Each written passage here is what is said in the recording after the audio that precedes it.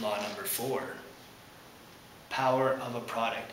Uh, truthfully, I don't really give a care if you actually remember what it's called, as long as you recognize to know what to do when the time's to do it. A and B in brackets. So this is two terms, A times B to the power of 2. That equals A squared times B squared. Famous question, why? Who cares? Why does it matter? Or I mean, how do we get there? It's this simple. We'll start with what we have. A times B squared. Well, we know that this is the same as A times B times A times B. Because the last law, we remember that this exponent applies to the entire bracket set. So this line is the same, well, let's, I'm going to just redraw it with brackets around every term. Okay?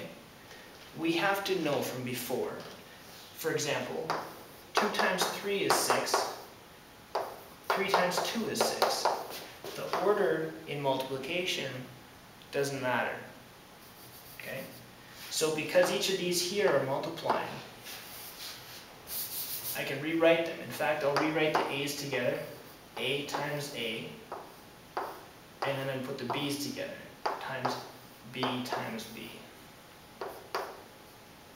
Now, being a smart student as you are, you will recognize that this, that's the same as saying a squared times b squared. There's your answer. a squared, b squared. Isn't that what we just had up here? When we recognize this exponent on the outside of brackets, the important thing is we apply it to every term inside here. That's how we got that. But now you know why.